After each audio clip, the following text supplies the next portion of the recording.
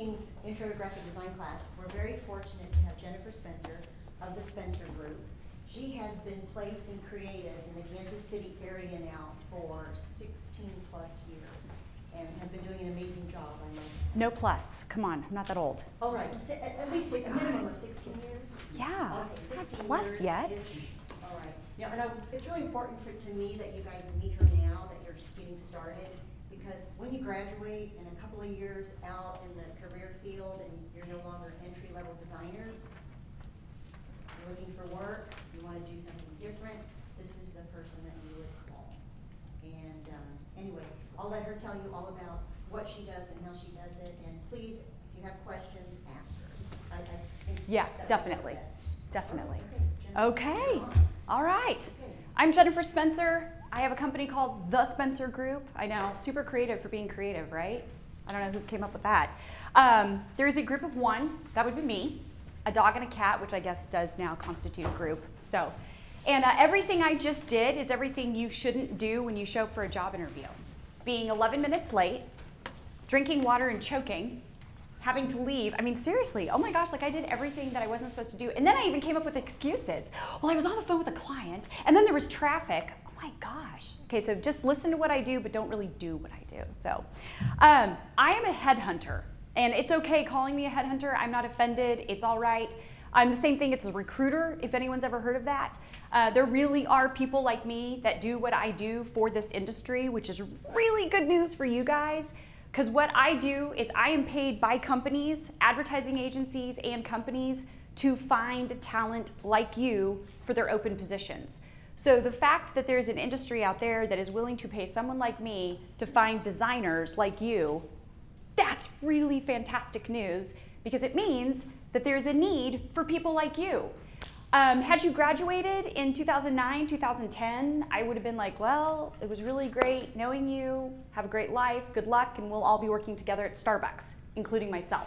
Um, man, that was rough, rough, rough, rough. But the good news is if you stick with this, this career choice, the market is picking up.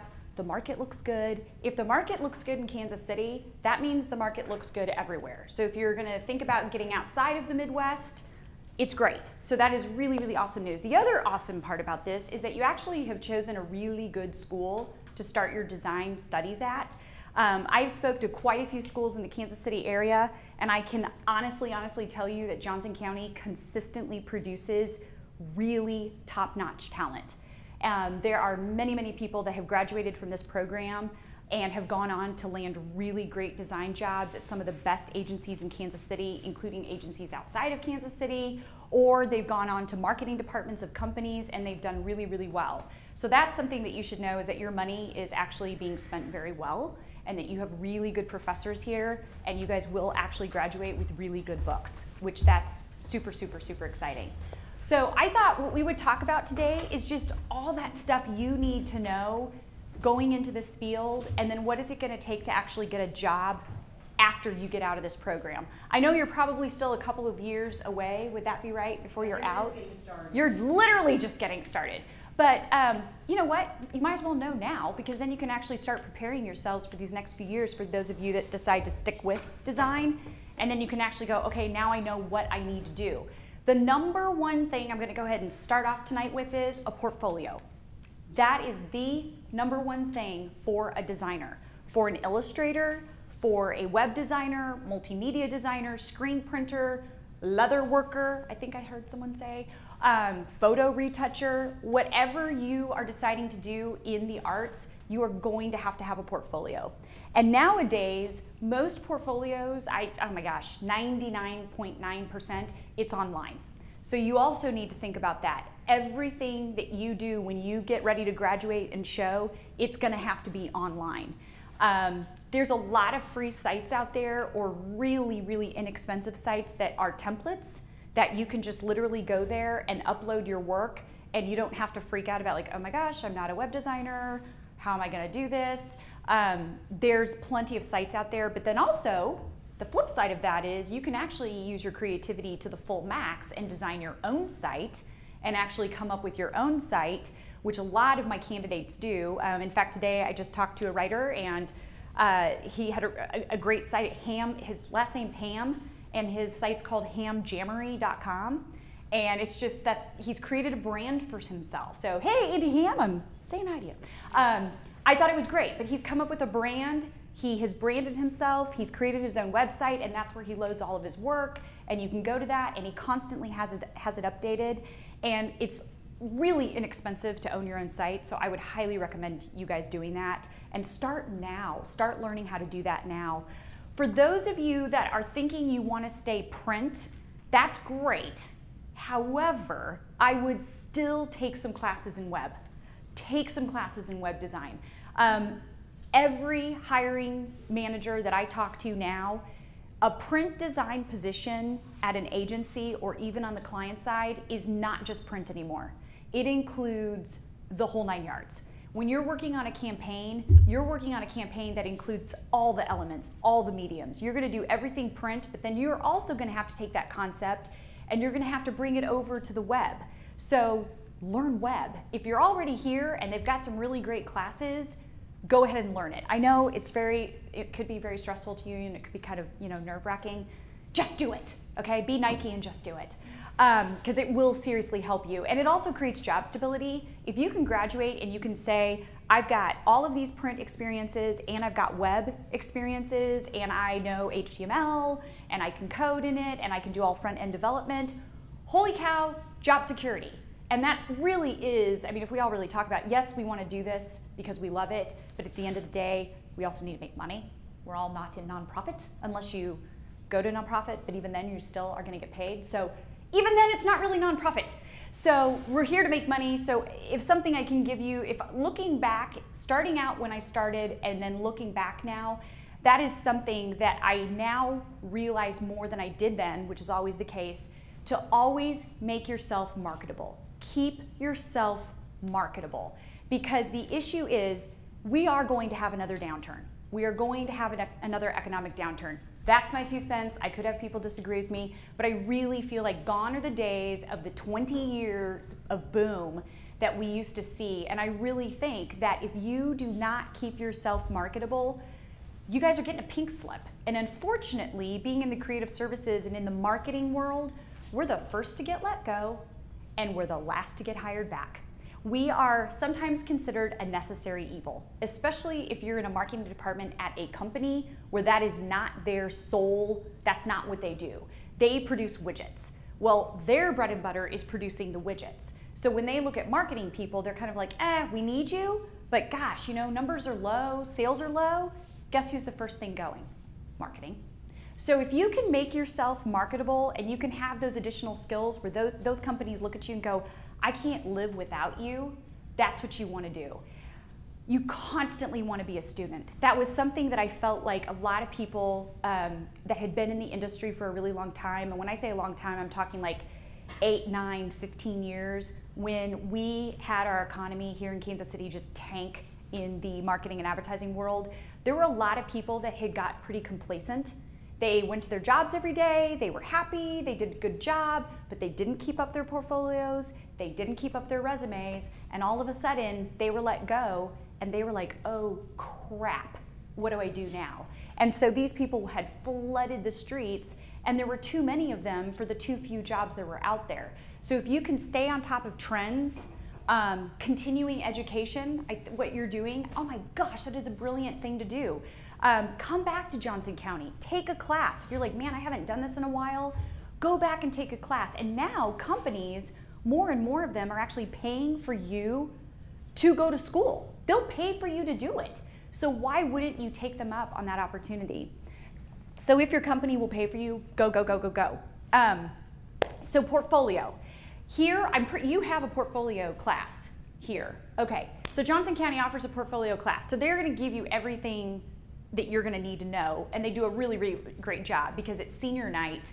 I've come for the last five years and the portfolios are awesome. I mean, they, they know what they're doing. They're teaching you guys the right things. Um, and you, you guys are going to have a really, really great book. But if you can start now on the projects that you're working on and start thinking about what could go in my book, one of the things that I consistently hear again from hiring managers is conceptual skills and campaigns. Can these people concept And can they develop a campaign?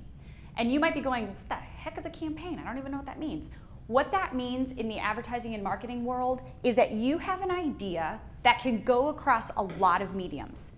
You didn't just come up with a really great idea for a poster and then you just kind of left it there and it really didn't go anywhere. No, you had an idea that actually was able to be turned into a three poster campaign. So not only did I develop this poster, but the idea had such great legs that I developed this one and then I developed this one. Oh, and by the way, since it was for one of my favorite bands, I also came up with an entirely new logo because I think their old, old logos sucked. And here's their new logo. Plus I did a t-shirt for them, plus I did stickers, plus I redid their website. That's what I mean by a campaign. That that idea goes across everything that that brand touches. Um, think if you can start now thinking that way, you guys are going to be light years ahead of others that are graduating. And unfortunately, uh, fortunately and unfortunately, Kansas City actually is quite a mecca for producing really talented design students. We've got really good schools here that produce really top knowledge, top top notch talent.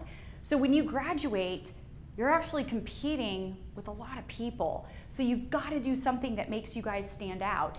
And the thing I like about Johnson County is that we have real, not we, I, I don't teach here, but I feel like I do. Um, I've been here so much.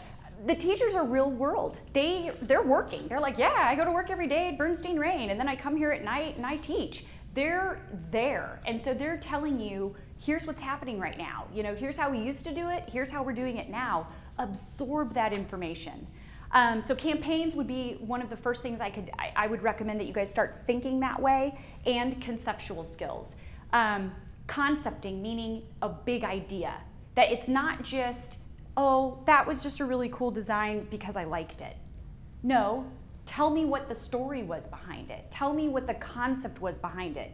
Um, there's a student here that graduated years ago, and he actually is a second career student. So he went to journalism school, did that for a while, and then realized one day that he was like, my gosh, I really want to be a designer. And so he put himself back into school, being like a full size adult and all, totally restarted, and became a really talented graphic designer. And one of the things that I think really put him, I don't say think, I know that it put him ahead, was that he had what he called a process book, um, or it could be called a concept book. And he brought it to every single one of his interviews, which showed here was my idea and here's where it sparked.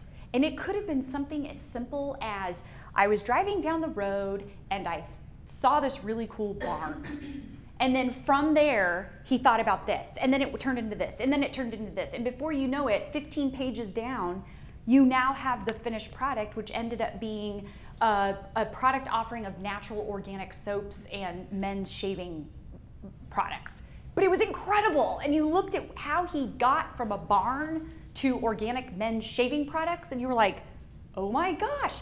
But what that did was it let us into his brain. It was like, oh, I see how this guy thinks. And if he attacked a problem like that, he's going to attack our clients' problems like that. So that's another really, really great thing, especially illustrators. You guys already do this. You already doodle, you're already processing things, you're already starting here, and this is what you end up with. They've already kind of got it. If I can recommend to you designers to start doing the same thing, start doing it. It's very cool. And you can bring it to an interview, and then you can actually show the interviewee what you've been working on, and it's actually really, really cool. And not many people do that. So I'm giving you a total secret that will put you, well, now it's being filmed. So never mind. Forget it, it's done, I take it all back. I'm just kidding. Um, so that would be my first thing, portfolio.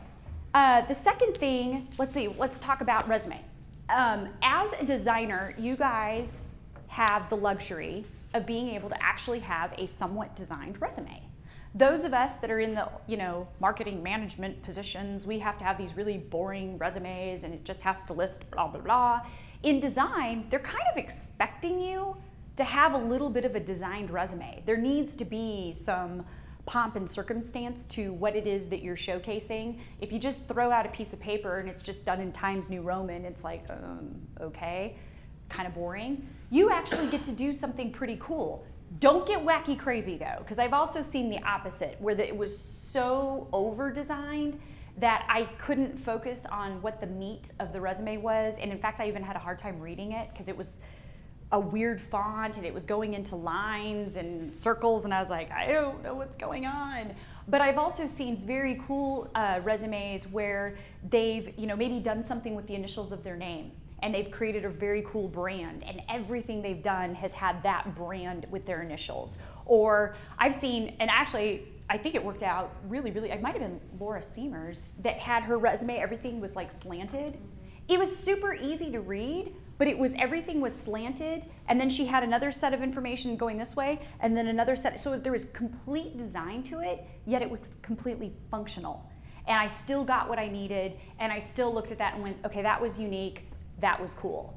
So have a very well laid out resume.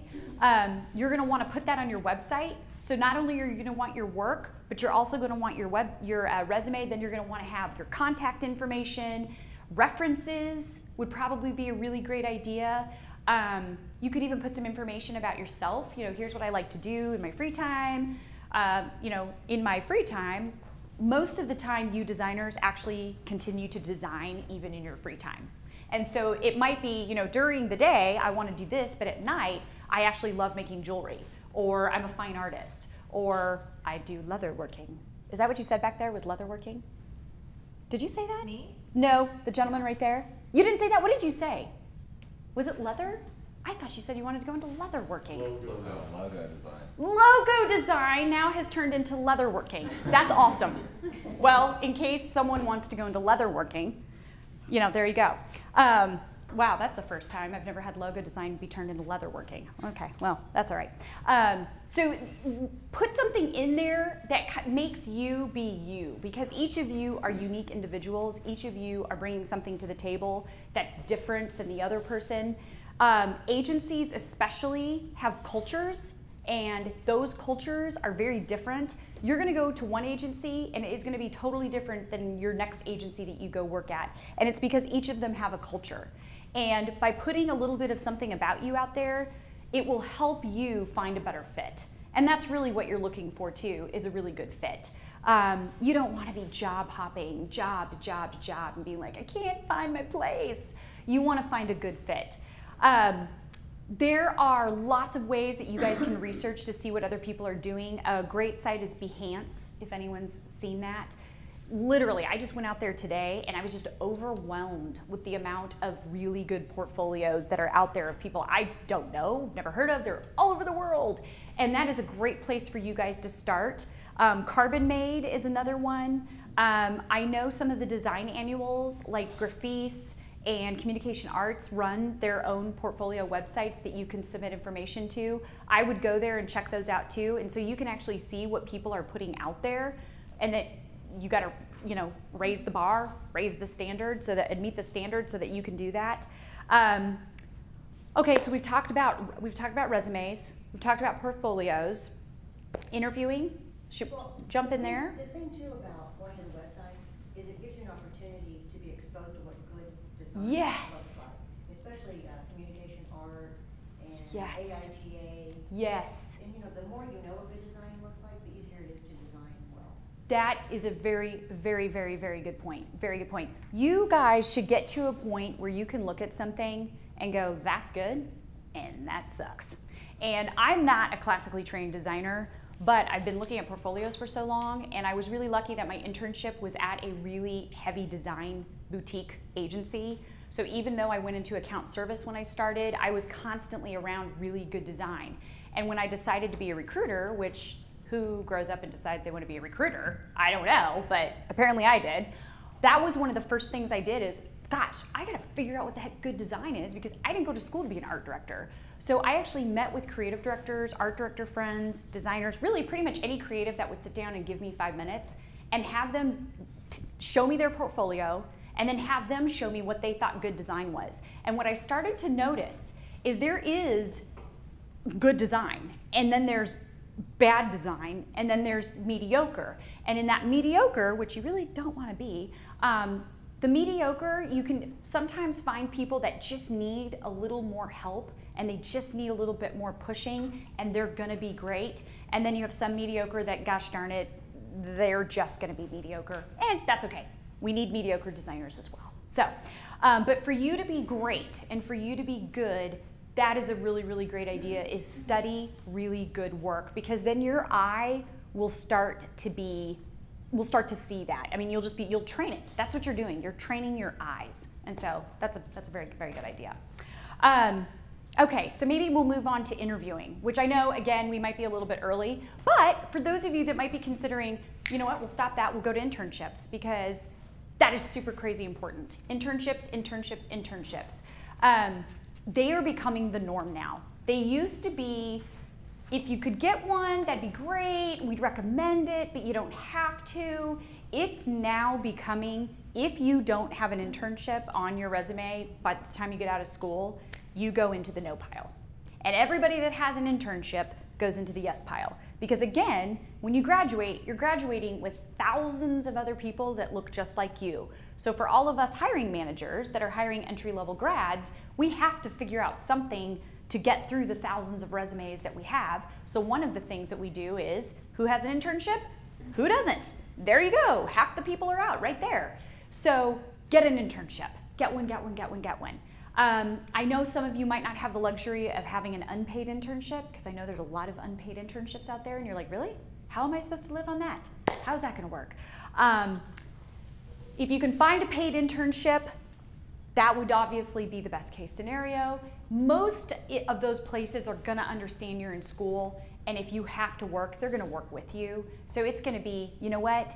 we would love you for this internship. Let's work out a schedule that works for you because we know you have to go to work. That's what I did. My internship paid nothing because it was like back in 1875 and um, it was like five cents and it was horrible and I had to ride a horse to work and it was terrible. Um, I had to work at night because it was so low paying. It was crazy.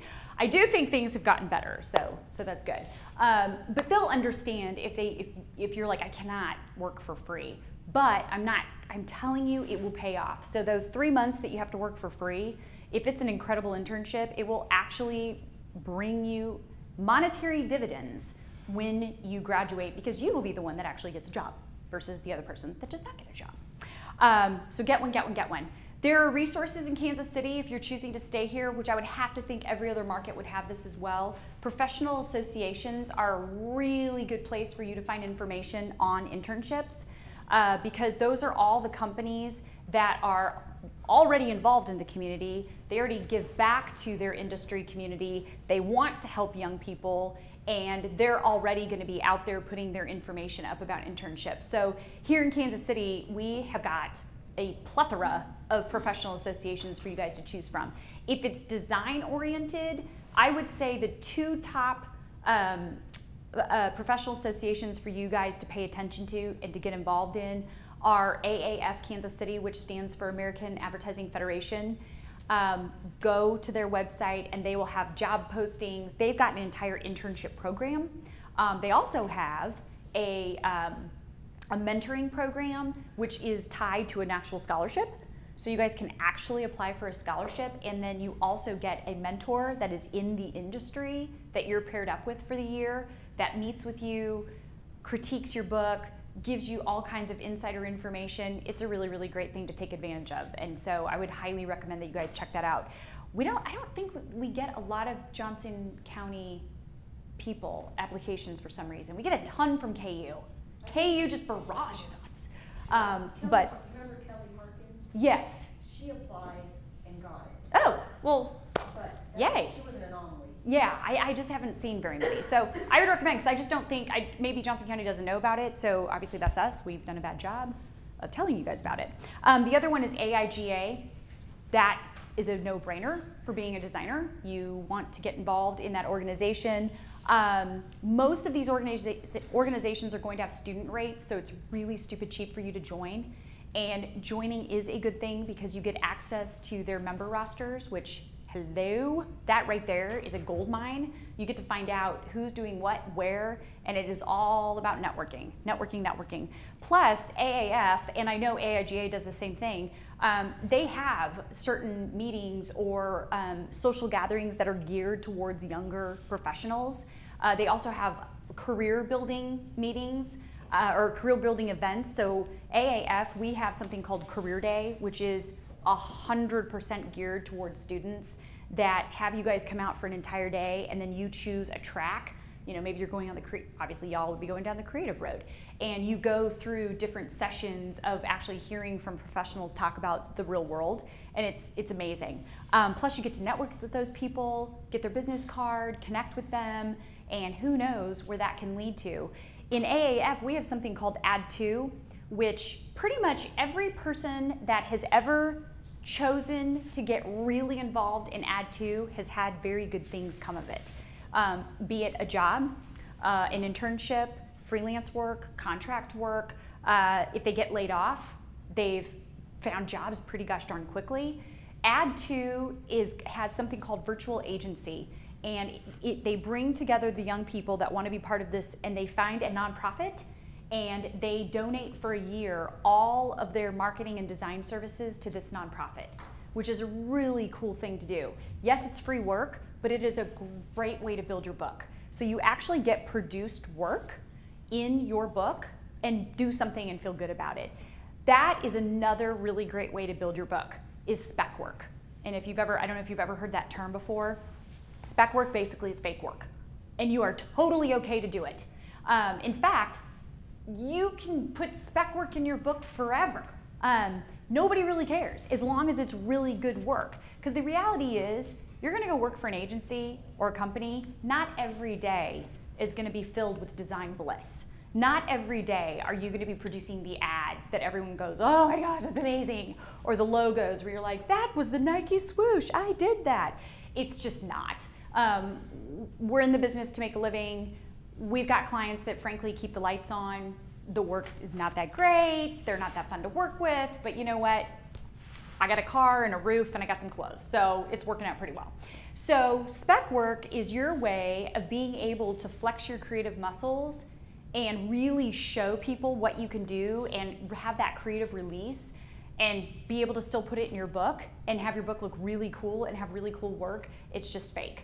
Um, and that's a great way, great thing to do as a student. If you're finding out, if you're starting to get towards the end of your your career here, which I doubt is going to happen, but let's just say it does, and you're like, oh, geez, I'm a little light on the amount of work that I could show. I'm just going to go do something for free. I'm just going to redo something. Find a brand that you're really passionate about, or just anything that you're passionate about, and redo it. Redo the entire logo. Redo the branding redo the package design, redo the whole thing, and show here's what it used to look like, here's what it looks like now. Isn't this so much better? Um, fill your book with that. Another way to do it is giving back and doing nonprofits, nonprofit work. Nonprofits, especially coming out of this recession, everybody just basically was trying to make it. So you can imagine if you're trying to keep your lights on in your own house, you're not sending a lot of money to the nonprofits that were doing much better before this. So they're hurting. So for you to go to them and say, hey, I'm a designer at Johnson County, I would love to do whatever it is that you need me to do, they're gonna go, are you kidding me? Yes. Would you design our winter ball gala invite? Okay. And oftentimes they give you total creative freedom because you're doing it for free. Now, you don't have to stress about, like, oh gosh, how am I gonna find printing? I mean, they're gonna find that for you, but for you to be able to do that work and put it in your book and you feel good about it and they feel good about it, plus the connections, nonprofits have incredible connections to people. And so they might call you, that executive director could remember what a great student you were and what great work you did, and literally call you and say, hey, so and so over at VML just called and they're looking for a young designer and I recommended you because I think you'd be great. Done. Done and done. So that is a really great way to do to build up your book. Um, if you're having, when you're building your website, and if you're a designer, oftentimes designers use the right side of their brain. You guys sometimes are not the greatest spellers. No offense, but you're not the greatest spellers. That's okay. Get someone to proof your site before it goes live. Um, find a writer friend who is in journalism or is an editor or whatever, a nurse, I don't care, anyone other than another designer and get that person to take a look at your site. Because the minute that that thing goes live and there's there's grammatical errors and misspellings, oh my gosh, not good, not good. So make sure that you have another set of eyes. Look at your resume, look at the descriptions on your website, and make sure that everything looks really, really, really good. Um, attention to detail. That's another thing. If you can start training yourself to pay attention to detail now, it is going to help you. And again, I know you guys are designers. I know that that part's kind of hard for you, but if you can be good at paying attention to detail and almost being a good project manager of your own projects, oh my gosh, that will help you. That will take you so far. Um, I've heard horror stories of young people that have got the Bernstein and the Barkley mixed up, so they will send thank you cards and thank you emails to interviewing at Bernstein, but they'll say, Thank you, Barkley. It was so great meeting you. Really? Because you were at Bernstein. Um, and vice versa. And that is not good. Not good. So slow down before you send that email, before you write that thank you letter, and make sure that Jane Smith really works at Barkley and doesn't actually work at Bernstein-Rein. Try to remember where you were. And speaking of thank you notes, Yes. Thank you. Okay, so this is this is crazy. So for some reason, thank you notes went away. I, I don't know what happened.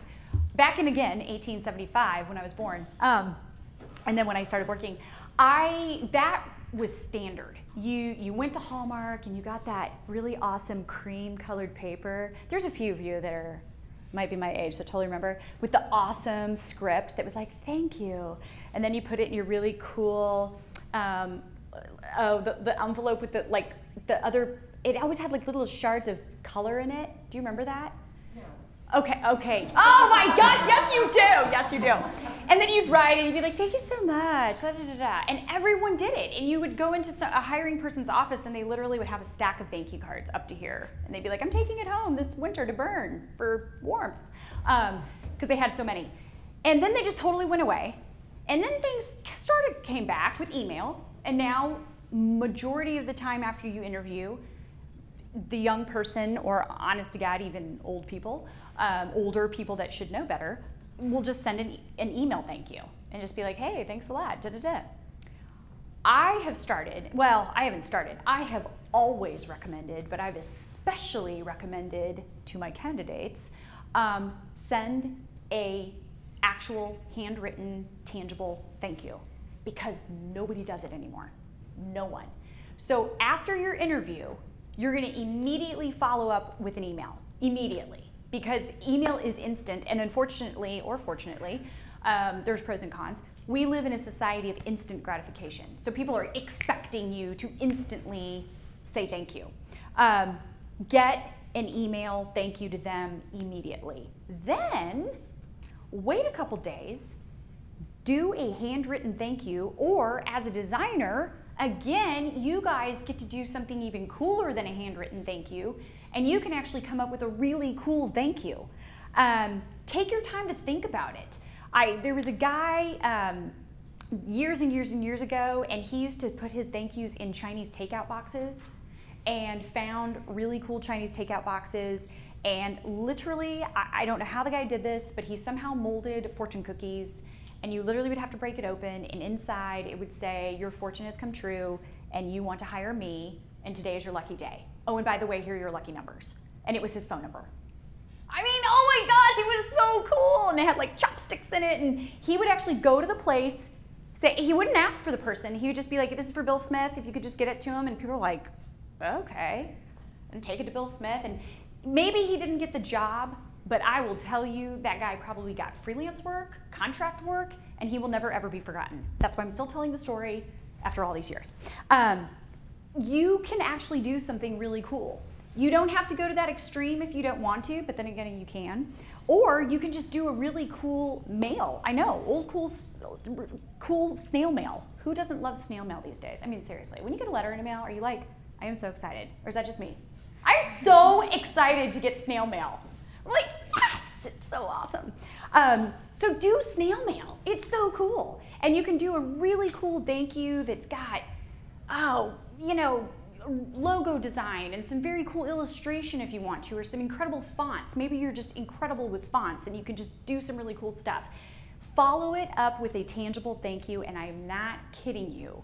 It will take you very far, including could be the reason between you and this person coming back for a second interview. And it may come down to you too. You got the tangible thank you. That hiring manager walks in and goes, Look what Jane just sent. No way! She's so cool. I knew I loved her. Let's get her back in here. Boom, you've got the second interview, you got the job. I'm not kidding you.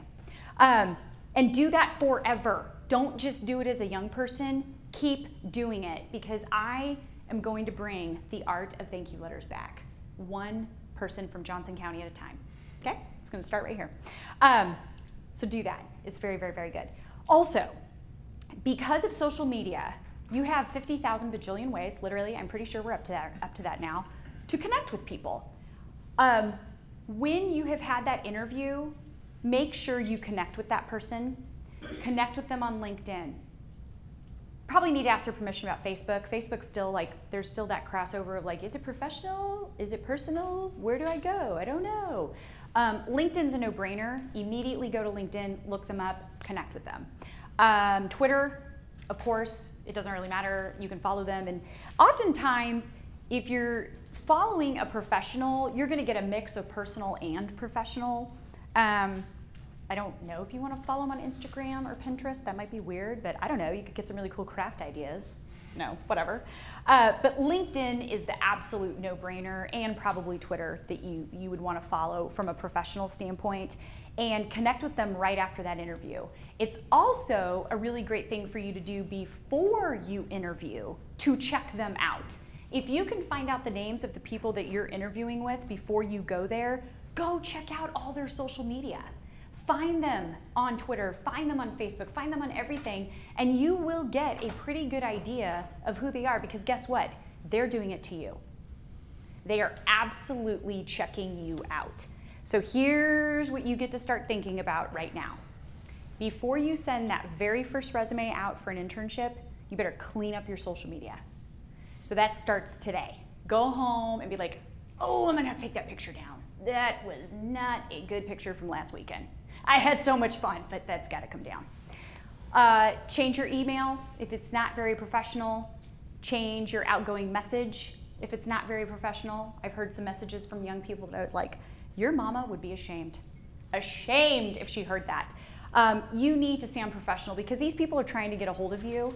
And so, yes, they might email you, but some of them call and literally call and say, hey, uh, Shauna, we just got your information. We'd love to talk to you. If you could give us, and if you've got a really unprofessional email or voicemail, I've actually heard hiring managers say they hung up and they didn't leave a message and they actually took you out of the running because the voicemail was so ridiculous.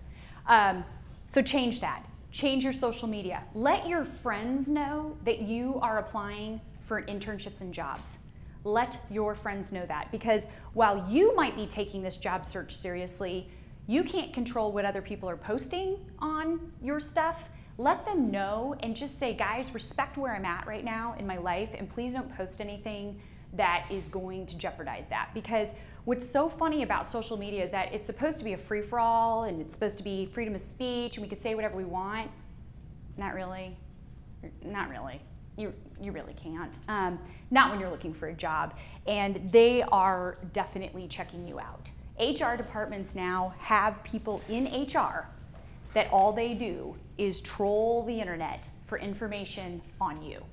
And if there's anything disparaging about you, if there's anything that kind of sheds you in a, a, light that maybe you're not able to make the right decisions, you're out. They're, they're not even going to bring you in for an interview. Um, and I'm sure you have already heard about people who are currently employed who post something and get fired over what they post. Yeah, it's not freedom of it's not freedom of speech. Um, so just start thinking about it, and if you can start cleaning that up now, that would be a really, really smart thing because who knows how far back they can go. So start cleaning it up now. Um, okay, so I think let's see interviews. Um, again, we might be a little a little early for this, but you're going to be interviewing for internships, and an internship interview is seriously exactly the same as a job interview. So get that experience now if you can. Um, do your research on the company before you go. That's kind of a given. Um, find out if it's an agency, what accounts do they have? What's their big news? Almost every agency in their social media universe has information about what's new with them. What new business did they just win? Who did they just hire? Um, what was maybe something new and exciting that they just came up with? Find out what that information is and read up on it and know it so that when you go in, you can have an educated conversation about what they're doing. There is nothing more annoying.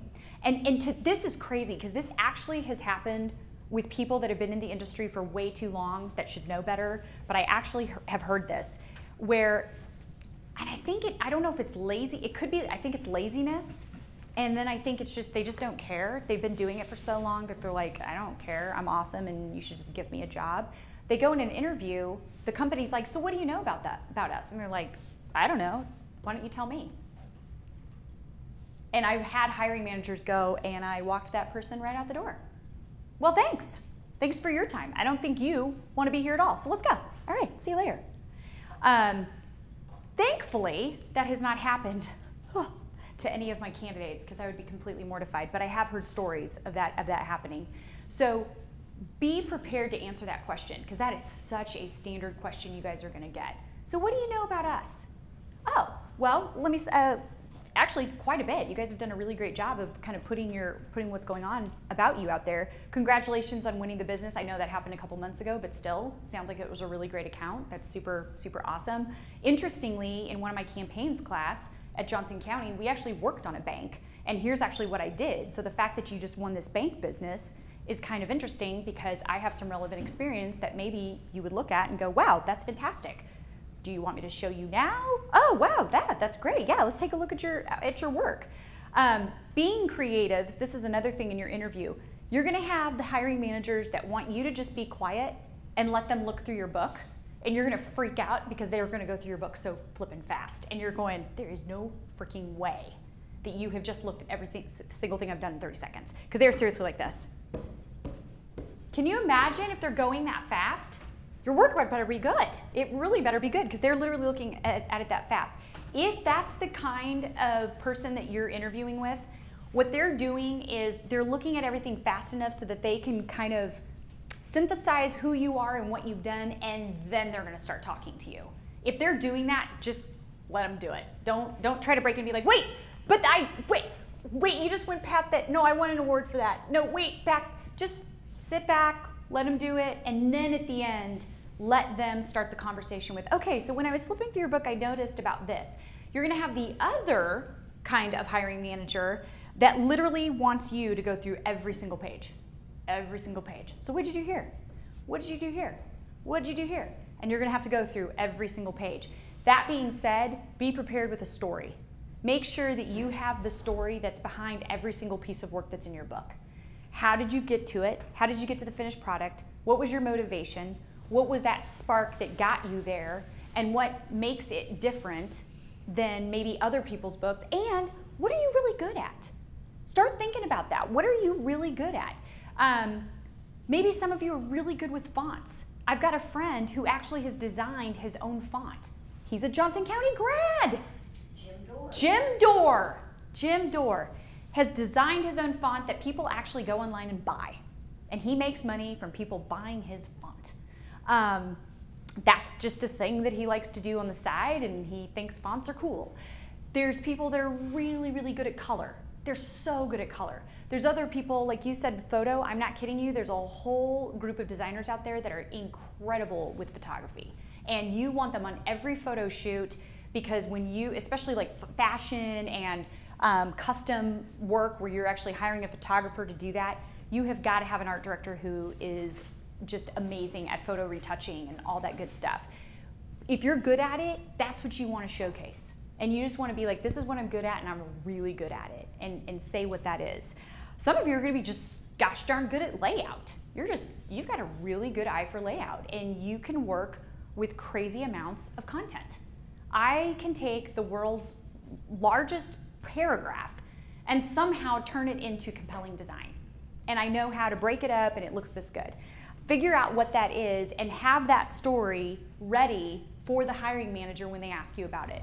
Um, there's nothing worse than having a conversation with a dead piece of wood. If I'm talking to you and I get nothing out of you and you're like, oh, so how was the, so how did you get here? Oh, I just thought it was cool. Oh, okay. Well, where did you start? Yeah, I was, you know, my teacher told me to just, you know, come up with it, so I, I did. Okay, so what are you good at? "Mm, Whatever you want me to be.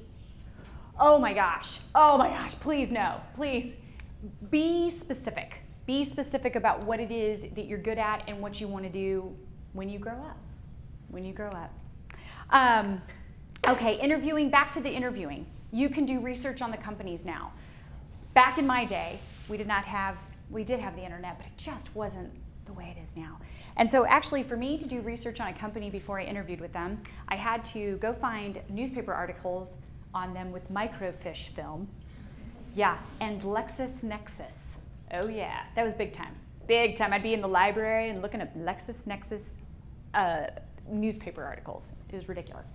Now, you've got so much information at your fingertips. Another really, really great way is if you do get an interview, go reach out to your social network and say, hey, I've got an interview with this company. Is there anyone that knows anyone that works there?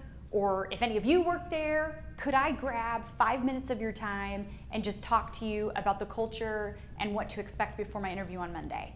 It is amazing how many people are willing to help young students. It's crazy. The thing is, you have to ask. If you don't ask, they're, they're not just going to give of their own free time. I mean, some of them do. But if you ask them, they'll totally help you. You just have to ask.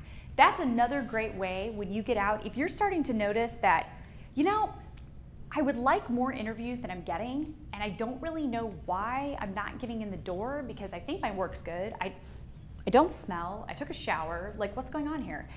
You know what you can do, and this works every time. You reach out to someone you respect in the in the community that you're like, you know, I like your work. I think I mean flattery gets you really really far in this business. So no offense, but advertising people are egomaniacs, and we love to be flattered. So um, it gets you really far. So for you to reach out to that person and say, hey, I love your work. I really respect what you're doing. I'm a new grad. I'm just getting ready to graduate. I was wondering if I could take 30 minutes of your time, buy you a cup of coffee. Could you look through my book and could I just talk to you about things that I need to know before I kind of jump in headfirst into this whole advertising game? You're gonna get two answers no, which that's really rare actually, or yeah, I can spare 20, 30 minutes. Yeah, why don't you come on down and let's meet here? Or, or better yet, they'll probably say, yeah, why don't you just come to the agency and I'll show you around. Well, guess what? It's never gonna be just 30 minutes, ever. It's gonna be like an hour. They all, 30 minutes is this really great amount of time where it's not totally co- committal. You're not super committing to anything, but what usually happens is you end up getting an hour of their time. If they say go ahead and come to the agency, they end up introducing you to people. They take you on a tour. You just got an interview. And you were asking for them to look at your book and for them to give you some information, and you just got an interview. If they don't invite you to the agency, but they do say, "Yeah, why don't you? Why don't we meet for coffee and I'll I'll go through your book with you?" Again, they're gonna spend more than a half an hour with you, and they'll buy you your coffee because you're a poor college student. you won't even have to buy your own coffee. I've never seen a professional person make a poor college student buy their own coffee, ever. Um, so it's a win-win. So it's a really, really great if that's something. And I know it could be out of your comfort zone where you're like, oh my gosh, it's like asking someone out on a date. What do I do? Um, Kansas City is such a helpful community in terms of advertising and marketing here. We're like crazy nice, and we're really entrepreneurial, and we really want to help, and we really want to give back. And so just ask. You will be amazed how many people come out of the woodwork to help you land your first job. You really will. It'll be very, very surprising. Um, get involved with the professional associations. They're fun. You meet a ton of people, and it will help you build your book and network, network, network. And that's something to talk about networking. Um, are there student associations here on campus that specialize in advertising and design? No, we have a uh, student chapter of AIGA. Oh, okay. Okay, well that's good. Okay, so that's something for you to get involved in. But even as a college student, you can still get involved with the ad club, with a well, the ad club. We used to be the ad club with AAF Kansas City. Um, as a college student, you can still totally get involved, and it's a really great way to network. There's social events. Um, some of the educational events do cost, but when I say they cost for students, they're like five bucks. Um, and it's just one of those things. The more you show up to places, the more people you meet, and then the more, and then if you come back, people are going to start to recognize and go, wait, I saw you last time. Oh, wait, I saw you last time again. Wait, who are you? What do you do? And then before you know it, I'm not kidding you, you're going to get a job interview simply because you showed up. I'm not kidding you. It seriously happens. Are there still opportunities to volunteer? Yes. Yes. Every one of the events that a professional association runs is by volunteers. So the boards of these professional associations are all hardworking day job people like myself that keep these associations going, and we're all responsible for something. And, and most of us do some sort of an event. We are doing it all volunteer, and we need a group of volunteers. And so for you to raise your hand and go, yeah, I'll, I'll help out at that event, it might be you show up early and have to set up chairs. And it might be that you're helping get the speakers water bottles. You know, you might be doing actually run around stuff, but you're you're going to be surrounded by professionals in your industry. You're going to be able to show this this hardworking attitude that you have, and they're going to notice, and they're going to go, "Who was that? Oh, it's a Johnson County student. Are you serious? A Johnson County student just came here and volunteered to help." oh my gosh, I gotta get their name. That's incredible. And that doesn't actually happen very often. Um, I had an event and had uh, the, I was uh, co-hosting this event with the Kansas City Area Development Council, and they had an intern for the summer who came from K-State. That guy worked his butt off. I mean, hard, hard, hard worker. We asked him to do the stupidest stuff like, can you fill up this chest, this uh, cooler with ice? And he was like, yeah, sure, no problem. I will always remember that, and if he ever calls me looking for a job, I will seriously help him. Fred. Fred, you know who you are. Um, the nicest kid. He was so hardworking. He had a great attitude, and that went really, really far. And that's something to talk about too. Oh boy, I'm gonna, I'm gonna get on my, uh, I'm gonna get on my soapbox. That's like so old school too. I don't even really know what that means. That's even before me, and that's like a long time ago. Um, so, having a good attitude oh my gosh, that goes really, really, really far. Um, there has been in the last few years this, I don't know, this kind of entitlement attitude that has really kind of started to permeate the young people of our country. Um, and even in the good old Midwest, it's here. And that is something as hiring managers and those, this is crazy because those of us that are Generation X, we're now, we're Generation X? Are we X or Y? If we're in our 30s, what are we? I don't even know. What am what are we? We are totally MTV when they played videos, and it was awesome. Every day after school, White Lion. That's over 34 I know. I did say 30s. I didn't say what part of 30s, okay? Jeez. Yes, okay. So I don't know what I am, Generation X or Y, someone will tell me. So we're now in the hiring positions. We're getting promoted into management roles. We're getting promoted into director roles, and we're the ones that are that are hiring you all. And the thing that I've heard from all of us in our second half of our 30s, um, what I've heard from them is, can I just get a young person that doesn't have an attitude? Can I just get a young person that comes in and is grateful to have a job and wants to work and doesn't complain and doesn't come in every month asking for a raise and doesn't come in and go, Well, I showed up to work on time this week, so do I get a raise? No, but do you want a gold star? Good job! For you! Yay! Um, listen, it's 4:59 and I've got to go meet my friends. So I'm gonna have to like go ahead and bounce out of here. I'm not gonna be able to really work late. Sorry, everyone. Oh my gosh! Oh my gosh. Um, you guys will really stand out. Those of you that have a good attitude, that you're grateful for your job, that you're hardworking, that you're willing, yes, I know it stinks, but for those first couple of years, you're kind of like in a sorority or fraternity, you're kind of getting hazed. You are gonna have to burn the midnight oil. Um, stay late, pick up those projects, get to know those people. Just have a good attitude and don't have this entitlement thing of just the world owes you because no offense, the world doesn't owe you anything. Sorry, I know, I'm so sorry. Um, yes, you did something really great to get where you are. You obviously beat out a lot of people to get there, but don't be a jerk about it. Be, like, be thankful that you're there and be grateful that you're there. And I've noticed it more, especially in the Midwest. Um, if you're going to stay in Kansas City, I have, I have told people there's a difference between being cocky and being humbly confident. we want you to be confident. Confidence goes a long way. Just don't be cocky. Uh, there's a difference between the two. And if you can figure that out now, you're going to go really far. And I've had, it's funny, it's, um, I, I will have hiring managers g- go a long way to tell me, I've got this young person that is so crazy. She just graduated, but she's like an old soul.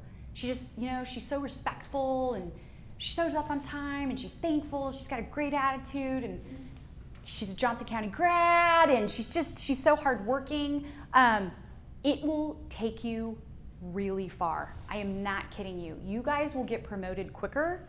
You'll make more money faster. Nice people do make money, by the way. Nice people do finish first. They don't finish last, they finish first. So be nice. Be nice. It's really, now, you know, if you move to New York or, I was just in New York and the people were so nice there. Why did they say I? They were so. I was just there and they were awesome. So I don't know. I don't know where the jerky people live, but don't go there because they're jerks. Um, okay, so we've talked about having a good attitude. We've talked about Um, appearance, for interviews and. Yes. About culture. Yeah. Okay. So appearance. Um, the great news is you guys are going into an industry, especially if you go to an agency. It's pretty laid back. So there are cultures, agency cultures, where I'm not kidding you. Everybody goes to work every day in jeans, t-shirts, and flip-flops. It's awesome. Um, shorts even, and raggedy, and some people you wonder if they've had a shower at all that week. You're not really sure. Um, there are cultures like that. Then there's other cultures where it's still an agency and you still get to, you know, be really laid back, but they do actually want you to shower. You know, one of those things. Um, if you go marketing on the corporate side, I have noticed that's still a little bit more professional. Um, even if you're a designer, I've seen when I've met people that are coming from like Sprints and Cerners and Hallmarks, they still look kind of fancy pants and they have to go to work looking fancy pants. So if you want to look fancy pants and be designer, go to Cerner and Hallmark.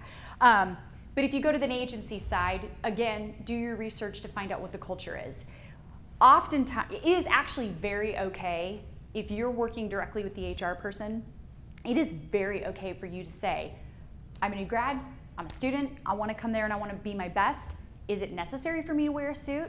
You will probably get laughed at, but I would rather you ask. And the HR person will literally laugh and go, Oh my God, are you kidding me? No, no. I mean, look nice. No, don't come in a suit. What kind of place do you think we are? But it's still good to ask.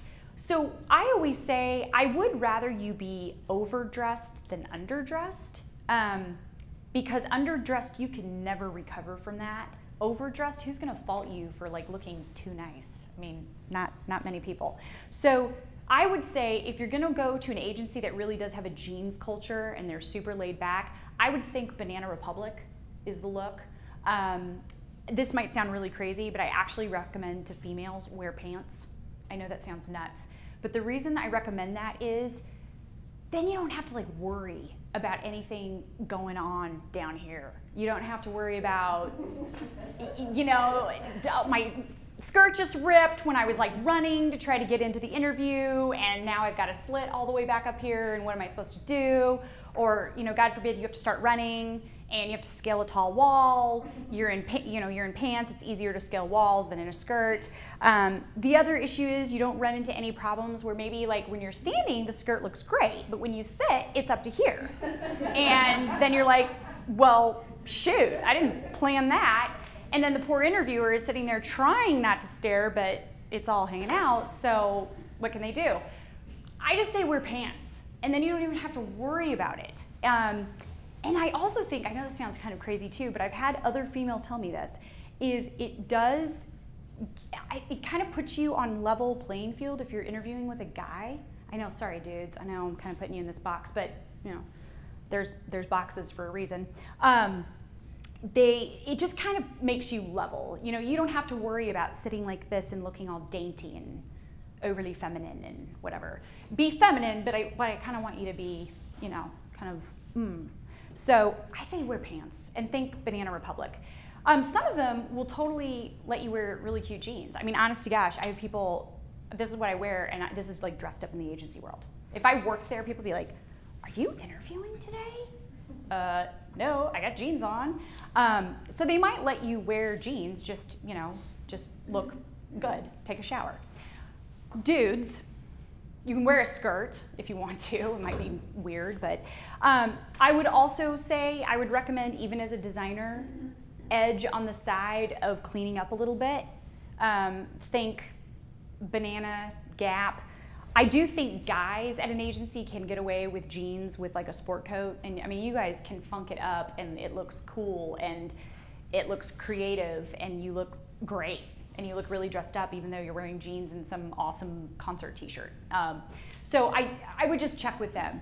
I do get questions a lot of piercings. What if you have a tongue piercing or a nose or multiple ears or eyeballs or whatever? Um, if it's going to distract from the interview where you have a tendency to play with it like this, take it out. Because that is going to drive me nuts if the entire time I'm staring at you for an hour and you're going like this. Because the other thing too is you might not know you have a nervous tick, and a lo- and you you don't think you do that, and really around your friends and family you don't. But then you get in front of an interview, and the next thing you know, you have no clue that this is what you did for an entire hour. You didn't know. I had a girl years ago could not get a job, could not get a job, could not get a job.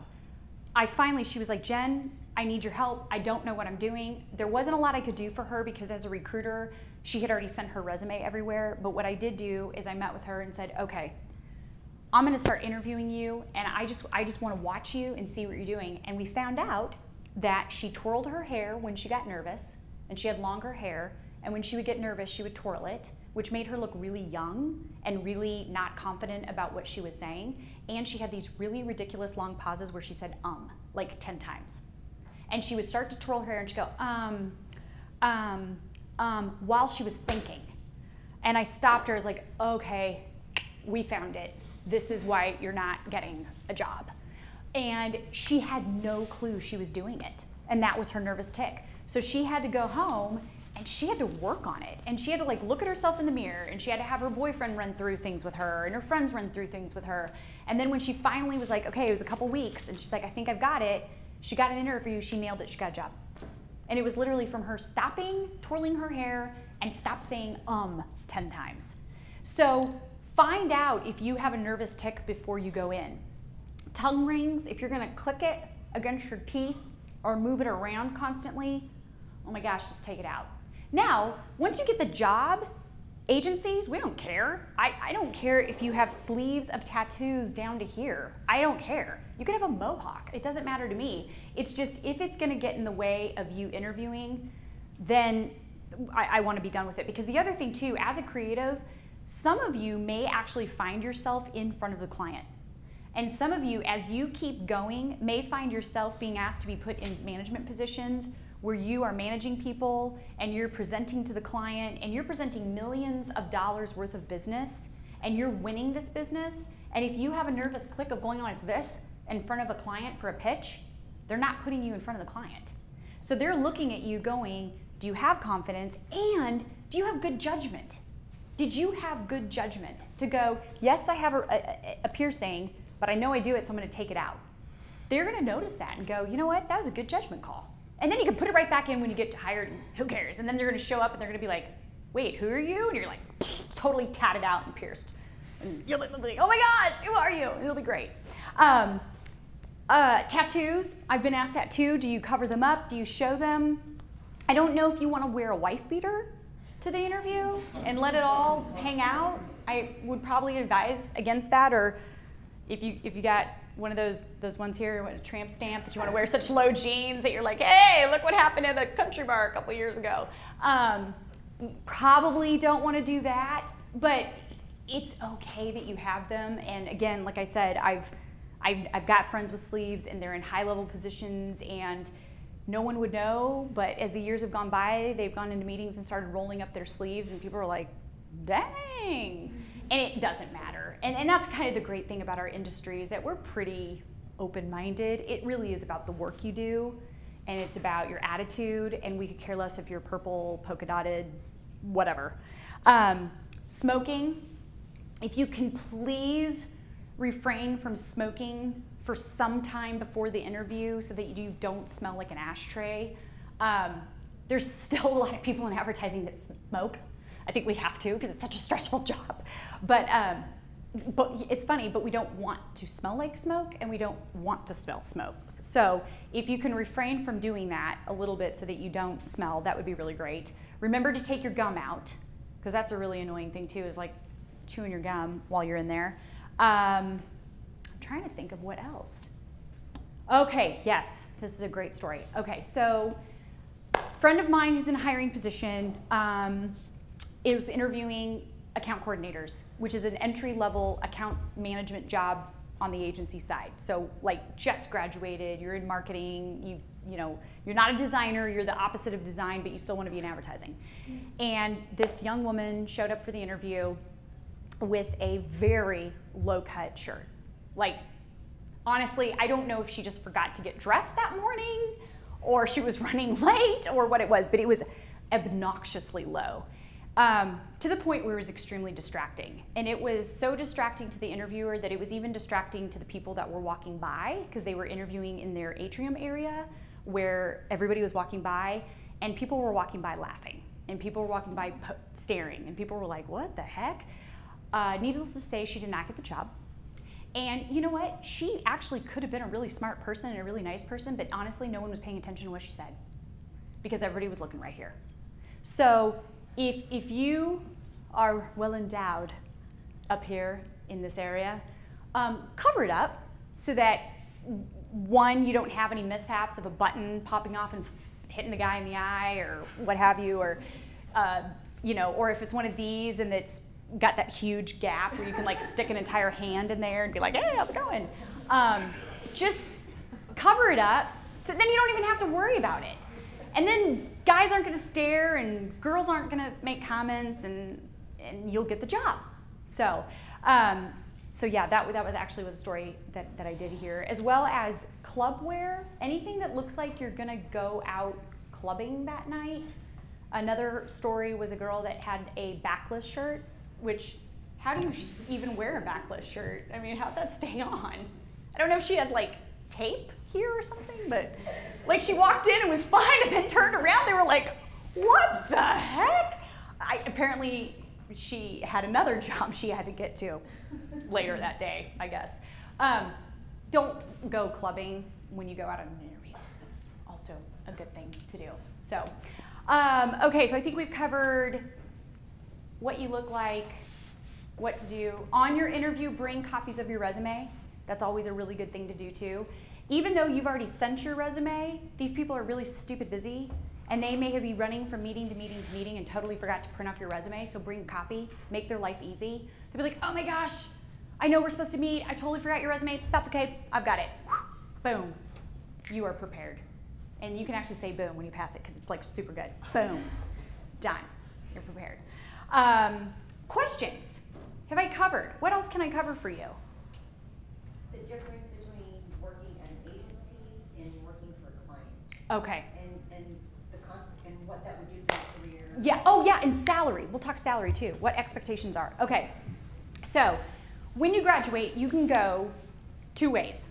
And there's the agency, and then there's client side, which client side is anything that's not an agency.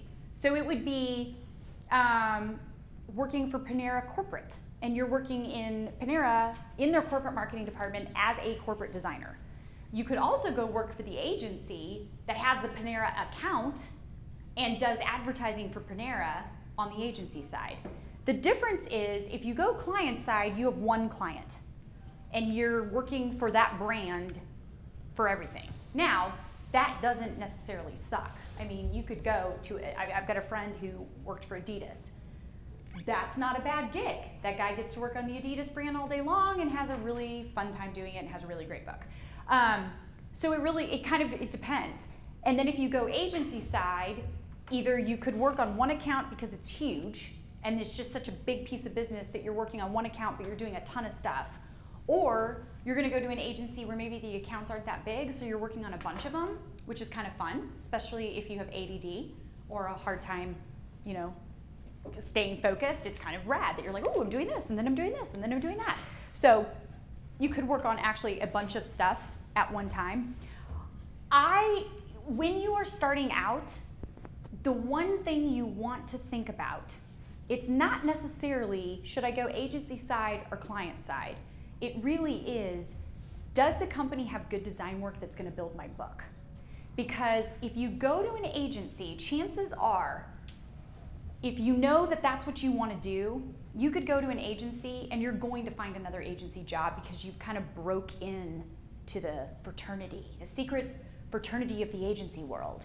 Um, and once you've broken in, you're in.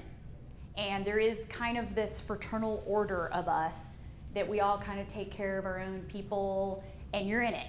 If you go client side and then you're like, this stinks, I want to go work for an agency, it's a little harder. I'm not going to lie. It's a little harder. And the reason is, is you've only worked on one client. You sometimes the amount and depth of work might not be as deep as what agencies, because agencies run a little slim. So boy, they throw you into the fire and they expect you to swim. Those two do not go together in any way, shape, or form. Which But is I- why it's difficult. It was super why it's difficult because you're in fire and you're expected to swim, which is weird. So that's why. Um, but if you go client side, sometimes you're just not the, the it's just not the same. The the deadlines aren't there as much. The budgets, they, they just you know, hey, this is the budget. This is what you oh you need more? Okay, sure. Agencies, it's like no, this is the budget. You better find a way to figure it out. And if you go to the agency side, you, you'll be able to get another job on the agency side, and you'll be able to go client side. Client side love agency people because we have learned how to swim in fire. And they are like anyone that can do that can work here. Um, but if you go to client side, just really make sure you're going to do good work. Because if you go there and you work there for a couple of years and you one day wake up and look at your book and the work in there sucks, or you look and go, oh my God, I literally have three pieces. I've been here for two years and I can only show three pieces of my work. That's a problem. That is a problem. And as a designer, what we talked about is you always want to make sure that you're relevant and that you are keeping up on trends. And if you're working for a company that really doesn't care, so they're not allowing you to stay with the trends, you probably don't want to be there because honestly, it's not doing you any favors. Yeah, you might be bringing home a paycheck right now, but in a couple of years, when you're ready to move on, well, you're stuck. Congratulations, that's as high as you are going to go. Um, so, something to talk about salary. This is something that um, you guys are probably wondering. You know, I'm getting into this, so how much money am I going to make? You're going to make one million dollars. I know. I'm just kidding. I'm kidding. No, you're not. like over 20 years, you will, but you know, you got to like put that all together. Um, you definitely did not pick this career to graduate and be mucho rich immediately, right? Did anyone pick this thinking they were going to be loaded the day they graduated? Okay. Oh, did, did like oh my gosh, you have now since figured that out. That did not happen, did it? Yeah. Um, you really are entering this field because you love it. So you're not going to make a ton of money right out of the boat. So I just I want to prepare you for that. I'm so sorry. Right now, I would prepare you that a starting salary could be anywhere from 28 to 32. For some of you, you're like, oh, okay. For some of you, you're like, oh, good God, I'm going to have to go get a second job at Starbucks. What the heck? Um, yeah, that's kind of how it is. Client side will most likely pay more. So you are going to get enticed to go to the client side because they're going to offer you 34, 35, 36 and your friends at the agencies are only making 28, 29, 30 and you're like, "Yeah, well, I'm making 34, honey." The issue is you might go to 34, but you might only go to 40 and then you're a senior designer and you're making 40 and there's nowhere else for you to go there. And your friends in the agency land are also at three years of experience and they're making 45 and they're up for a senior designer and now they're going to be making 65 and now they're going to be a creative director and they're going to make six figures and you're like i'm making 40 and i got six years of experience. What the wait what just happened? So I, I caution you before you take that jump just because you're going to make $4000 more now may not be what happens down the road. And you're going to have your agency friends go right right past you. Um, you can make good money in design. There are some people i know that freelance. That's what they do is they freelance for agencies and companies and they make a fantastic living. Um, I also know people that are currently art directors, senior art directors. If they choose a path of management and they get into being an associate creative director and a creative director, they're making six figures. And they're making good six figures. It's not like, oh, I make 101. They're making good money, and that's in the Midwest. So life is good. Um, you can make good money. So I don't want you to think, oh my gosh, I'm stuck here for the rest of my life. The other thing is, what's it's actually it's a good thing. You do not want to stay anywhere for 20 years. Gone are the days of moms and dads who are like, I worked for the old insurance company for 35 years. Well, great for you, Grandpa, but that is not how it is now. Um, you don't want to stay there for 35 years. If you are constantly getting challenged, if you are getting promoted, if you've been able to work on lots of different brands, then you know what? You can stay there for a while because you'll be able to show that you've done a lot of different things. But if you wake up one day and you've been doing the same thing for 10 years, you got to get out. And you got to get out now. Um, because what's going to happen is you're going to become complacent. You're going to become used to what you're doing. Life's good. You know, I'm not really stressed out. But then what happens when you get laid off? What happens the day you wake up and you figure out that you're totally unhappy and completely bored and there's no room for advancement, but you've been doing the same thing for 10 years? And then when you look at your raises, you're like, oh my gosh, I've literally made a 2% raise for the last 10 years. It's, it's not worth it. So I tell people, look at it like every five years and reevaluate where you are. Every five years, go, is this where I want to be? Do I want to be here? Am I challenged? Am I happy? Is this building my career? Is this where I want to be someday? If it is, awesome.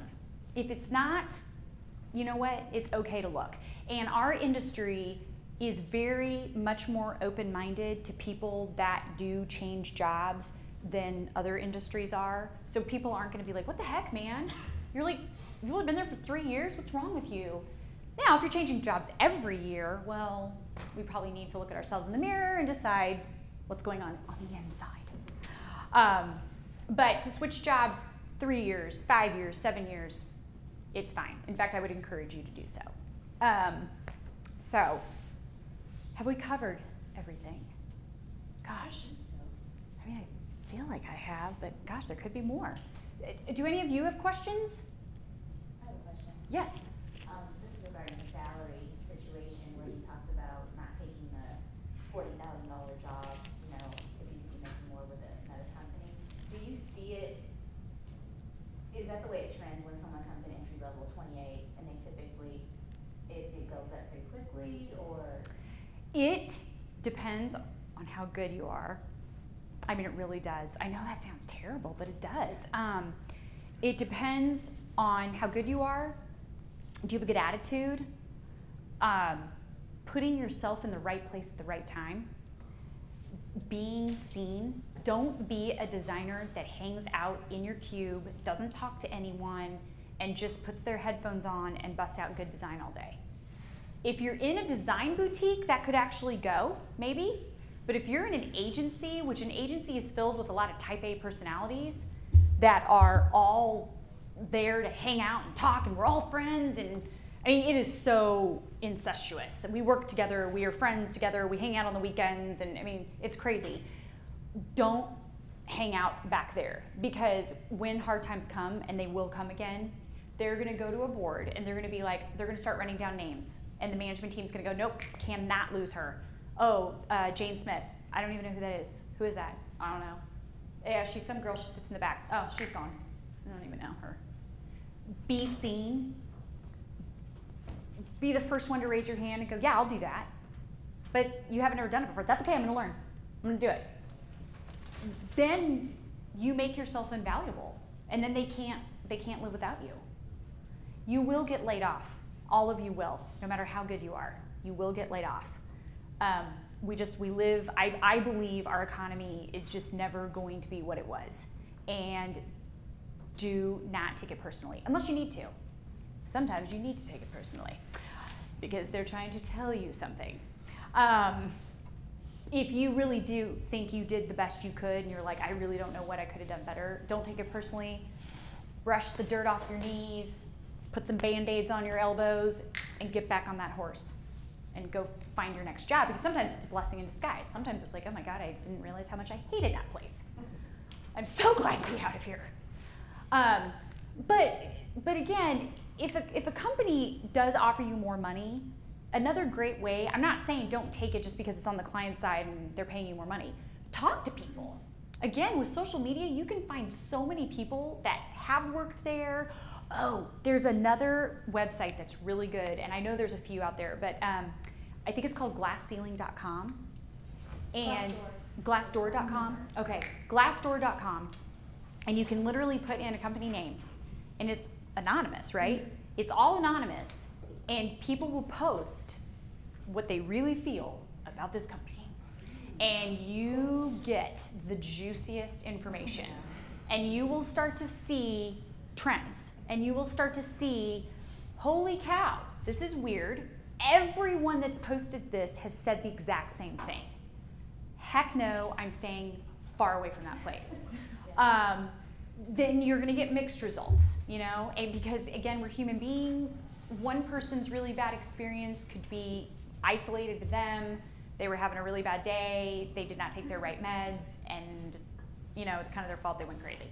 Um, and then other people have a really fantastic opportunity. But go to those websites, and I know there's a few. I heard someone just say to me another one, but I can't remember what it was. But Glassdoor is the one I, I, know about. And I look it up too, because I look it up from a client perspective. When I get a new client, because I really, I'm the salesperson, if you will. If, when a client calls me and says, hey, Jen, we need you to go find us an art director, I'm the first person that these candidates are meeting that's a representative of the company, even though I technically don't work for the company. They're meeting me, and based on what I'm saying, they're putting their trust in me to say, yeah, I want to talk to this company. I want to talk to this agency. They sound awesome. Well, if they meet me and I said these great things and then they go in there and interview and it totally sucks, I look like an idiot. So I've gone on it to see what am I getting myself into. And I've had some clients where I've gone, um, no, thank you. I, I thank you so much for calling me. I'm so flattered, but hell no. Mm-mm. I'm not going to recruit for you. I'm sorry. Um, so check that out because you'll find out a lot of good information. What else? Yes. Um, we've heard from people from like Barkley and Blacktop, but it, could you give us like some insight into other uh, like groups and places? In Kansas City? Yeah. yeah or whatever. Yeah. Okay. I can speak a lot better about Kansas City. I, if someone said, "Tell me about the agents in Seattle," I'd be like, "I they're by an ocean, and it's cold and rainy, and I think they have good fish. I don't know." Um, okay. In Kansas City, we have a really it's, it's very cool. We're a very entrepreneurial town in general, not just in agencies, but in technology, in healthcare, in everything, which is, is great. Um, and in a, the agency world, it's kind of interesting. We had a bunch of agencies that all got started at the same time. I don't know. I always imagined there was like this group of young entrepreneurial businessmen that all were sitting around drinking their whiskey one night in the 60s, and they were like, let's all start ad agencies I'll do this one, you do that one, and you'll do this one. And outbirthed um, Valentine Radford, Barkley, Bernstein Rain, um, and there were even there's even others. Wayforth Hawes, which now is called BKV. I mean, there's lots more. There's there's others that are small that have always stayed small, and those now have become our big agencies. And then from Valentine Radford, the V in Valentine, I mean, y'all, I don't think there's really any of you that even remember there was an agency here called Valentine Radford, but they were huge. And um, they, they're, they're, they don't exist anymore, but the V is now the V of VML. So now you've got behemoth VML here in Kansas City. And then from there, we've got, you know, you've got the big ones. And then from there, you kind of drop down to this other group of still great agencies, but they're maybe like 90, 80, 90, 100 people. And then you drop down to another group that are 50, 45, 50. And then you drop down to a whole other group that are only maybe 20 people. And then there's a whole other subgroup that are only 10 or less. And those companies need people too. And I have placed people at those companies, and I know people who started at those little companies that have done amazing work, really kick butt work, that have then just kind of, you know, gone up the ranks and are now associate creative directors or senior art directors at the big shops and literally started at these, you know, 10 person. So even if an agency is only 10 people, don't poo poo it. Don't be like, oh, you're only 10 people. Look at the accounts they work on and look at their work because their work could be awesome. Um, there is a small firm here called Design Ranch, and I seriously think it's like five people. Uh, started by two gals that have been around the industry for a long time. They don't want to be big. They will never be big.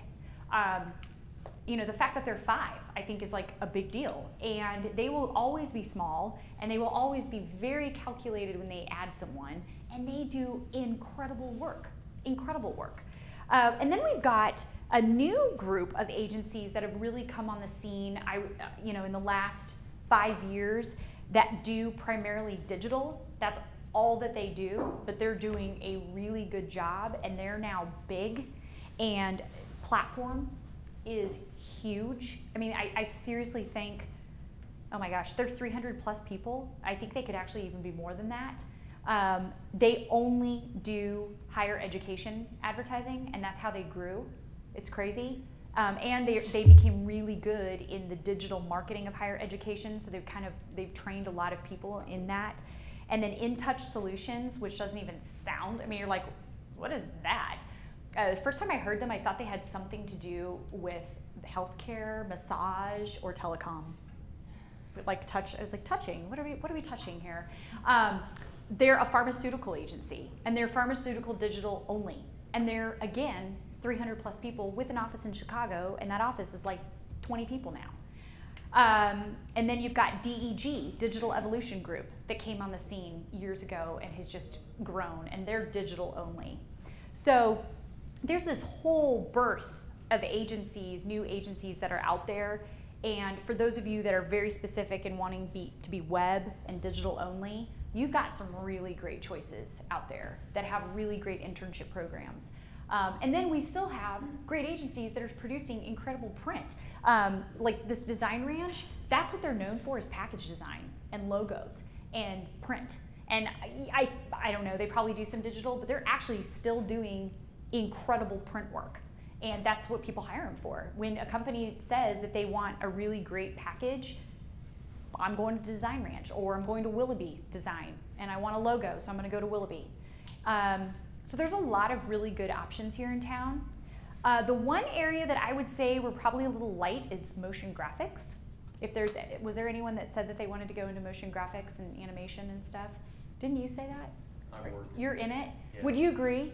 We're pretty Um, light in that area. It's, it's been up and down. There's been uh, companies out there like Bazillion that's been real successful out here. Yes. And then there's other companies that um, have maybe lasted maybe two years and gone. I know. So it, it, Take Two's probably the one that has withstood the test of time, that will be around forever. KC Creative was up then. I know, I know. We, yeah, we're, our world as uh, the Kansas City and the motion graphics is a little bit. Big Media is starting to get into some really good stuff, um, and hopefully they will stay around a very long time. So, Trinity's still doing very well though. and who? Trinity Oh, is doing okay. very well. Oh, good. I don't know them. That's good. Um, I was wondering if you only worked with like advertising agencies and stuff like that, cause, uh, I've never really been into advertisement or anything like that. I like illustration and photo retouching and all that, but, I mean, I've talked to schools sometimes that are like, we don't have anything for you. Like, we, there's nothing we have for photo retouchers and stuff like this, so it's always made me wonder, like, where are they? Because I know people like to photo retouch out there and I on the internet and stuff, but I have really never met anyone else that that's what they want to do, you know. And I don't know where you would get a job doing that. There's agencies like anything like that. You probably want to go work for a photographer. Yeah. and actually work for the photographer. And interestingly, Kansas City also has a ridiculous amount of really good photographers. And that's been one of my questions when I've met a few of them that I've never heard of before. I'm like, can y'all really make a living? Because there are so many of you, and you guys all are here, and you're all making a living. I had no idea there was that much work. Um, So, and of course, it's not, they're not just getting work in Kansas City. They're getting work. You know, there's a, there's quite a few really good photographers here in town They get work nationally. Go there, and I mean, you would work for a photographer, and you would literally retouch his or her work. Um, some of the larger agencies, there is a possibility they could have a full-time job because they're larger, so they're doing all of this, um, especially if they're doing, you know, like a Barkley when they had Sonic. So much of their work was custom. You know, they, they were doing their own photo shoots, and there was they weren't pulling in stock photography. They were doing everything on their own. I would guarantee you they had people, literally a team, that that's what they did. Um, I do know there's a couple of guys that come from that world that have gone out on their own, and that's literally what they do. And they're freelance photo people, and that might be what you end up being is a freelance contractor because there might not be enough work to keep you employed full time, but there's enough work to keep you, you know, one week you're here, you know, another week you're here, you have three jobs going at once, you can do it at home. I mean, freelance contract was, would probably be a really good route for you. And you can make good money. So, he had his own retouch company for like the airplane companies that they're uh, Yes. and he made so much money. It yes. was crazy. He could just wake up whenever he wanted, get on his computer, work with people from around the world because he could just send it off. You know. Yeah. Yeah. Yeah, you can totally do that. Totally do that. Any other questions? Yeah, No? we're in, huh? I, I Oh, okay. a quick one, just, just out of curiosity, 'cause it's happened to me once or twice. I haven't done it, but, um, be interested to hear what you thought on it. Uh, there's been a couple times where you drive down the road or something, you see like a billboard or something, somebody's logo, and you think in your mind, oh, I could totally do that so much better. Um, even though you have no relation to that particular company, um, I, I've wanted to, like, redo that logo myself and kind of put something together and then send it off to them. Oh, I know. Hey, I'm, don't do that, or. No, I've thought the same thing. Where I'm like, why, why, I, why are you doing that? Are you serious? How could you do that? Probably not a good idea, but a super great idea for your portfolio. Spec work. That's what I'm, that is a perfect example of spec work. And especially with you starting out, take a picture of it, redo it, and then put it in your book and talk about, put a story behind it. So I drive every day down I 35, I see this horrendous billboard with this horrible logo. Now, of course, if you're interviewing for that company, you might not want to say that and hope that the person on the bus that you're talking to does not work for that company, but most likely you're not. And, um, and show, you know, here's the picture that I, you know, I took a picture on my phone, printed it off, here it is, or show it on your phone, and here's what I came up with. And this is why this is why I chose to do this. And then that's what I talk about telling the story. Don't just go, here's what it is and that's what it is. Doesn't it look better? Well, yeah, it looks better. But why? Oh, because here's what I was thinking of, blah, blah, blah, blah, blah, blah. And it, it's interesting because as a designer, you're gonna put a lot more thought into what you do than us, the consumer. Sometimes we get it. Um, I don't know if you heard about, I guess Wendy's, they redid Little Wendy. And um, there's all this speculation on her collar that they purposely put the word mom in there. And so that as a, as a create as a creative, as a designer, whoever did that, they love it that people are wondering whether they put that in there or not. Wouldn't you love to know if they really did or didn't? Because whoever it is that did that knows the answer. And they either are like, oh crap, I didn't even know I did that. wow. Or they're like, yes, someone figured it out. I totally put it in there. That was awesome. Um, I don't know if you do this, but when I was in college, I had this great campaigns class and a professor that showed all of these old advertisements. And I, I'm, when I say old, it was like the 20s and 30s and 40s and 50s and 60s, and of subliminal messaging that they did, and and even I mean even present day that they do. Oh my gosh, it was crazy. I think you guys could probably just Google subliminal advertising and look up some of these ads. A lot of them were, of course, for alcohol. And it was like, I had, when I looked at it, you don't see it, but then when he started pointing out, I was like, well, that's just gratuitous and wrong. Um, I'm like, oh my gosh, shielding my daughter's eyes. Don't look at that. It's too late. It's, it's just already seen it, it's too late. So, but that's spec work. Perfect example. Do it. Yes.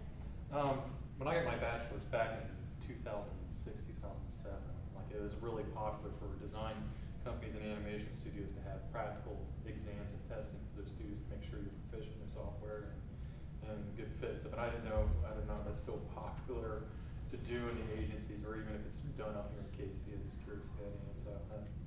I don't hear of that as much anymore. Um, which whew, aren't y'all kind of like, oh thank God, oh my gosh, I can't imagine. Now I have heard of project work, and I have heard of, um, especially on the web design side. Sorry, those of you that are wanting to be web designers.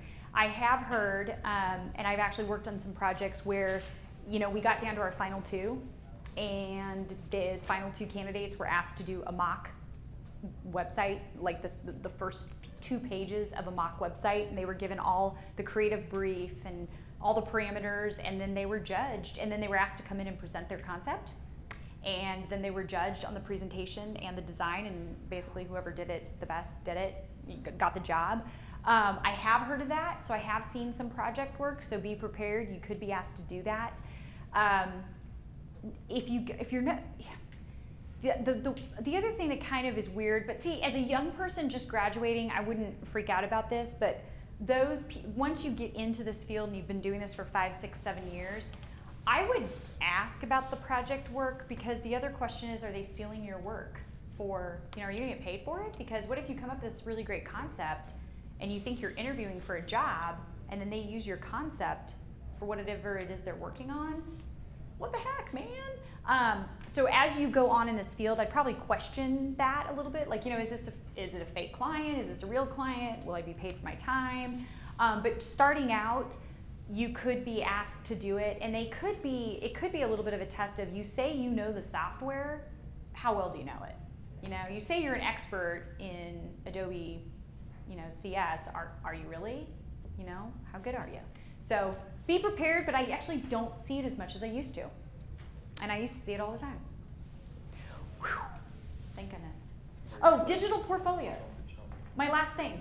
Um, more and more people are just moving to, to, like I said, you know, having your, but when you bring your portfolio in, I, more and more people are just bringing in their laptop or their tablet and just literally running through your portfolio right there. If you have 3D pieces, package design or direct mail, just bring them with you. There's nothing wrong. It's not like you, I mean, sometimes showing a package is just cool to touch it and feel it versus, well, here's it on a flat screen. Um, bring those pieces with you. Or if there's just some amazing posters you did that are huge and it's just way cooler to bring them, you can bring them. But most people are just, lo you load your portfolio on your laptop or your tablet and you just run it through at the place. So, yes? Uh, video resumes, are you starting to see companies do more where they're taking your resume, but then instead of doing that initial phone screen call, they do the video, they send the video feed to The Skype? Um, no, it's not Skype, so it's not a conversation between the two, it's a video, um, that they send to the candidate, and then they have the candidate answer like twenty questions. So that initial phone screen that you would do as a recruiter, Uh huh. um, that basically takes that away because they set that video software up and it will give them Oh. three minutes to look at the question, answer the question, and, you know, have you, I guess, not. that? It's, yeah, it's starting No. I have no. My clients, I think, are probably too cheap Okay. to invest in that. Uh, yeah, sorry, clients. sorry. No, They- they're not. No, I haven't had to do that yet. I've had. Is a, is a place. What? It's an engineering. Oh yeah, yeah, yeah, yeah. Um, Okay. They, they have that set up now so that once you apply, you instantly get that, that Wow. invitation to do that, that Ugh. video screen of yourself. I see pros and cons. I won't go into that, but yeah, I have had questionnaires where prior to the interview, we're going to send out these 10 questions, answer those 10, and then we'll evaluate. Some of these questionnaires are hilarious. It's like if you were an animal, what would you be and why? If you were, you know, on an island, what's the one tool you would bring with you? Like some of them are, you know, just fun and wanting to get to know your personality, especially agencies are going to do that. So, um, yeah, and I think it's probably our industry. Maybe they're not they're not doing that. No, I don't know any agencies. Not in Kansas City, but you know we're Kansas City, so we don't we don't jump on all the the new trends immediately. We let everybody else go through it first, and then we'll decide if we want to do it or not. No, I'd be nervous. Oh my gosh. I guess you could just get dressed from here up, right? From here down, you could be in your sweats and pajama pants, Right. funky toes. Nobody will know. Anybody else? Any other questions? No, we're ready to wrap it up?